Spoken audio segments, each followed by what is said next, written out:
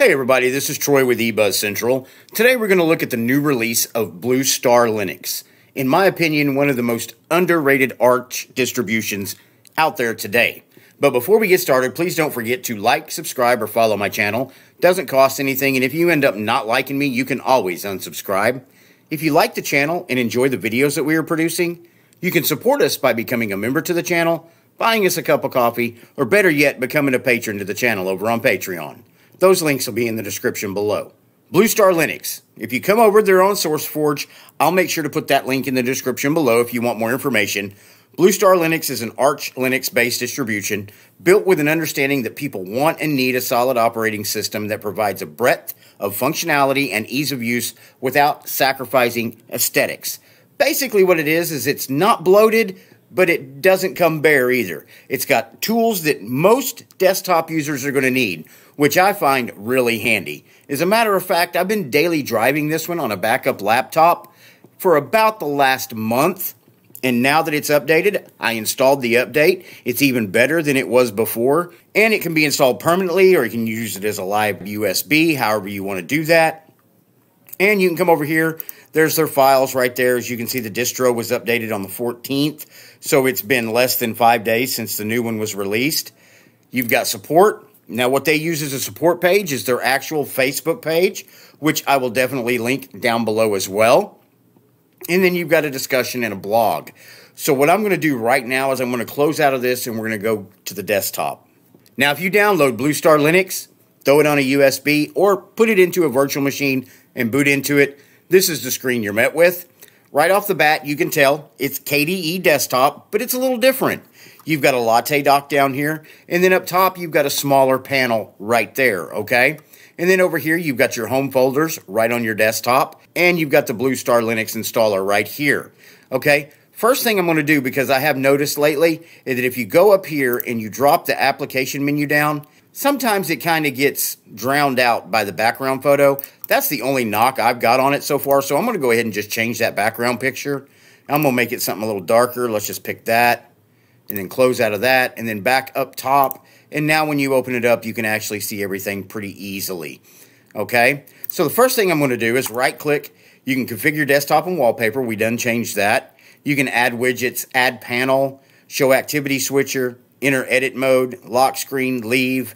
Now, one thing up here, I'm not really a big fan of having my home folder right on the desktop. You might be, so if you do like that, it's great. You can leave it there. But if you want it gone, just right click on the home and then come down here and remove folder view and it's gone and that widget has been uninstalled. Then you have your clean desktop.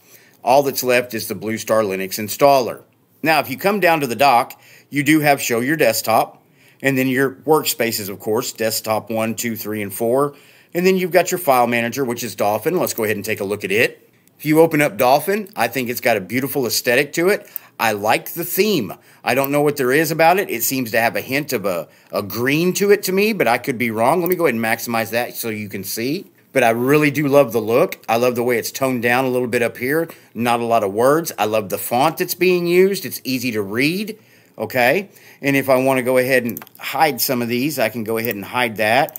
And then right click and change my icon size make them a little larger, but I do love the theme, okay? You've got your usual suspects over here. Of course, you've got your home folders right here. But it's just a quick, fast file manager that makes getting your work done easy. So I'm going to go ahead and close out of that. Back down to the bottom, and we've got console. Let's go ahead and open that up. Let's go ahead and maximize it. And it lets you know right here, it's Bluestar Linux. You're running kernel 5.15.7-Arch1-1. So it's the Arch kernel. You've got KWin, KDE, RAM at present with the console open. You're using about 929 megabytes out of the 4 gigs I have issued to this machine. And I want to see real quick if they have HTOP installed. Let's go ahead and check that out. And HTOP resource usage is matching up with what we're getting on the base up there. So that looks pretty good. So I'm going to go ahead and close that. Back down to the bottom, and you have GIMP out of the box. So let's open that up real quick. It pops right up. And that's a good image manipulation program if that's something you're into. Let's go ahead and close out of that. And then you do have VLC installed out of the box. LibreOffice Writer. Let's see what version. It should be the most up-to-date apps That's what they're saying on their website, so let's double check. Okay, LibreOffice has opened, so let's go ahead and close that and zip on up here and see what version we're running. We're running 7.2.4.1, so that is definitely the most recent version, so that's great. So let's go ahead and close out of that. Then you do have FileZilla. You've got Thunderbird for your mail client. You've got Firefox, which we've already been into. And then you've got Pidgin Internet Messenger. And then your system settings. Let's go ahead and open that up. Let's go ahead and maximize that. And at present, we're using the dark theme. I'm going to leave that there. You can change your wallpaper right here. Clicking on files and folders opens them. This is set up for a single click. I'm going to go ahead and make it a double click because that's what I'm used to. And then over to the left, you have all the different settings that you can make adjustments to. If you click on Appearance, first up is your global themes. If you notice, you get your base, Breeze, Breeze Dark, and Breeze Twilight. And then you have a lot of Bluestar Linux themes out of the box, so you can use any of those and you have oxygen. Now, if none of these themes are what you're looking for, of course, you can go down here and get new global themes. Open that up, select a theme that you like, and install it. You can do that with application style, plasma, colors, window decorations, fonts. If you want to change your fonts, all you got to do is click on those. To adjust all your fonts, you can come over here. If you wanted to change the actual font, you can click on it, select a different font if you would like. I'm going to leave it alone, but I am going to change the size and bump it up to maybe 12. Go ahead and click apply, and as you can see, the font's changed across the operating system.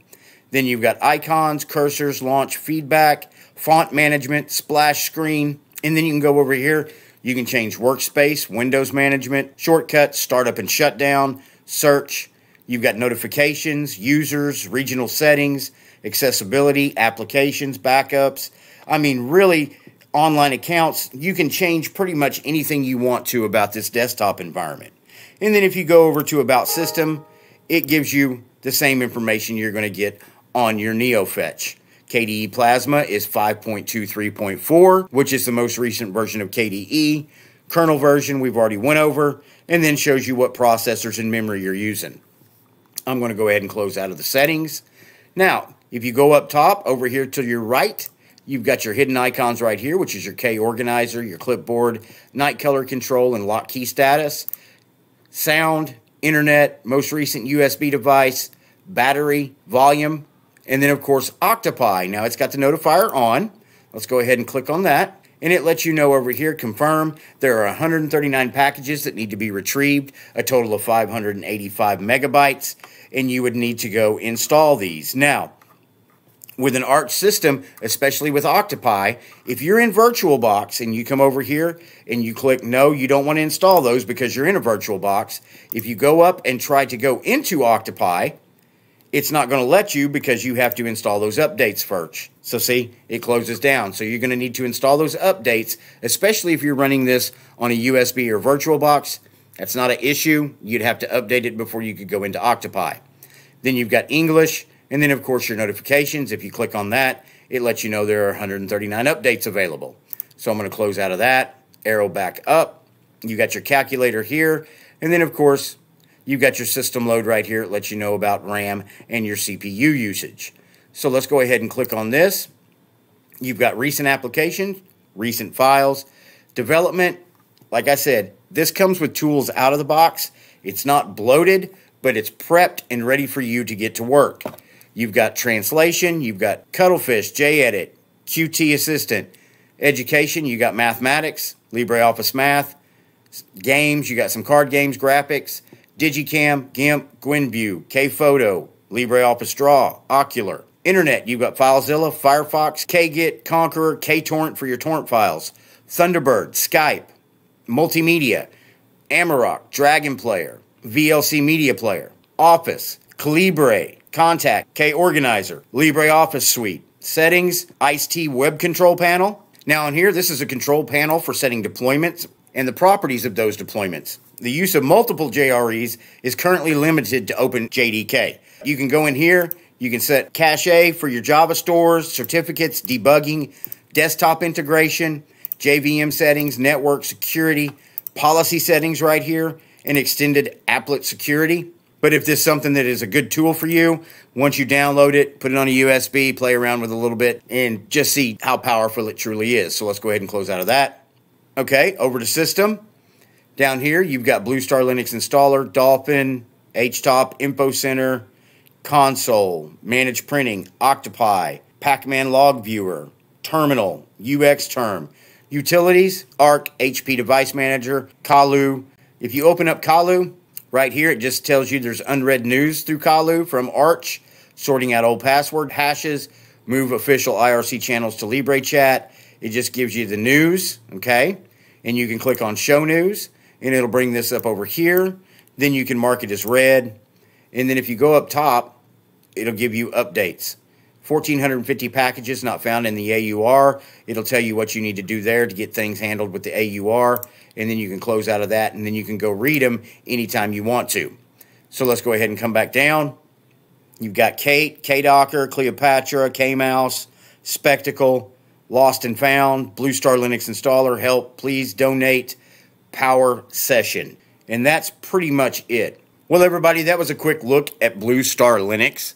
Probably one of the most underrated Arch distributions out there today. It's powerful, it's beautiful, and in some situations, when I run it on an older laptop, it's faster than my Manjaro install on my daily driver. More than likely, this is the one I'm going to be taking the jump to and switching to as my daily driver. Tell me what you think. Let me know in the comments below. Do me a favor before you leave today. Please like, subscribe, or follow the channel. It Doesn't cost anything, and if you end up not liking me, you can always unsubscribe. If you like the channel and enjoy the videos that we are producing, you can support us by becoming a member to the channel, buying us a cup of coffee, or better yet, becoming a patron to the channel over on Patreon. Those links will be in the description below. Thank you for watching my video, and I will see you in the next video.